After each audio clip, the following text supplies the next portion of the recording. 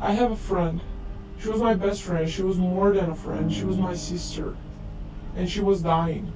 With the time, I started noticing how her attitude, how her reactions, how her well being was just sinking. I was wondering what is going on, and she was always refusing to speak about it. With the time, I got it. I saw her. She was having an eating disorder. It was not just physical, it was neurological.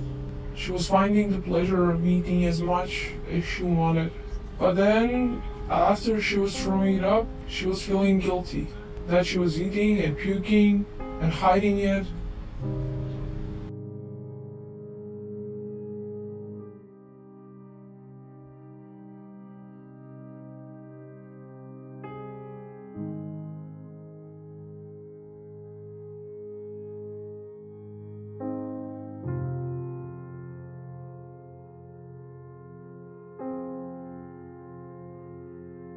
What I did was not giving up on her.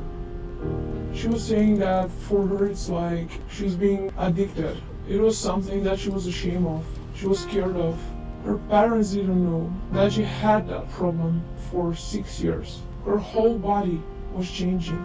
Her period even stopped. She started having awful panic attacks. Once she called me from the train and she said that she can hear old people how they speak, how they walk, how they move, louder and louder and louder, and it was making her crazy.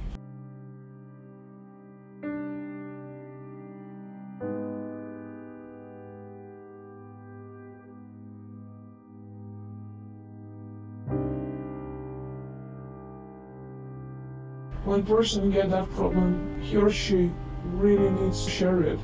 That's the only way to escape it. I made her tell her parents, tell her closest friends, tell her boyfriend. And they really tried to understand her.